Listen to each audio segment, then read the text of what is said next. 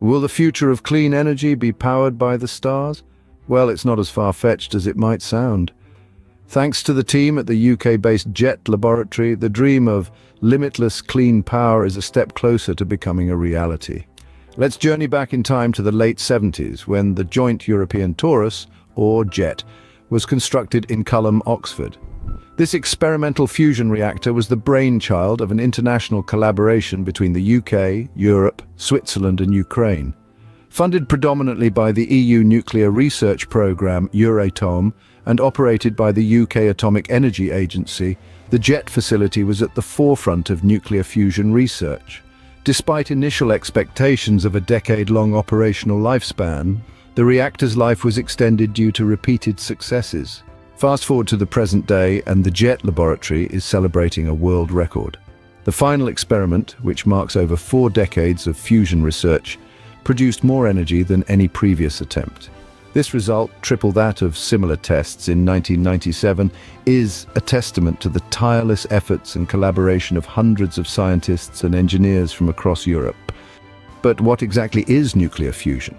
It's the process that powers stars, including our sun. By heating and forcing tiny particles together to form a heavier one, a significant amount of energy is released. If we can successfully scale this process up to commercial levels, we could produce endless amounts of clean energy without any carbon emissions. This energy source wouldn't be at the mercy of weather conditions, unlike wind and solar energy, but don't start celebrating just yet.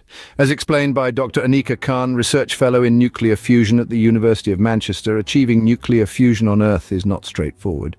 It requires temperatures 10 times hotter than the Sun, around 100 million degrees Celsius, and a high enough density of atoms for a long enough time. The recent experiment at JET produced 69 megajoules of energy over five seconds.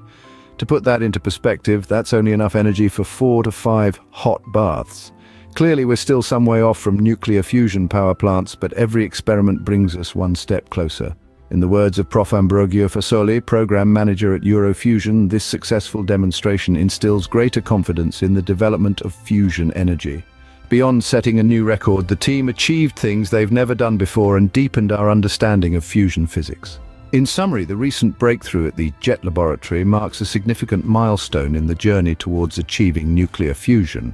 While we're still a long way off from seeing fusion power plants, the progress made is encouraging. The dream of harnessing the power of the stars for clean, limitless energy is slowly but surely becoming a reality.